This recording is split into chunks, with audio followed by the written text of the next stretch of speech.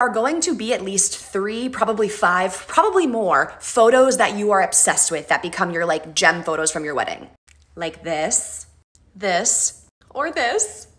And you just literally will not need to have like hundreds more than that. Take it from me, I am a content creator. So plan a few areas and then enjoy your freaking wedding. Number three is starting the reception with a high energy dance set. We got so, so many compliments on this. Instead of taking our guests from the ceremony where they were just sitting for two hours and then having them sit again for two hours in the reception for toast and food, when we announced our bridal party and then Max and I made our entrance, we had everyone meet us on the dance floor for three three songs. It was absolutely electric. I mean, look how many people are on the dance floor. And then we took a break to eat, hear toast, and then we had like more retention on the backside for dancing. Number four was our guest book was After the Tone. I cannot recommend this enough. And I preserved my wedding bouquet with pressed floral. So it's hanging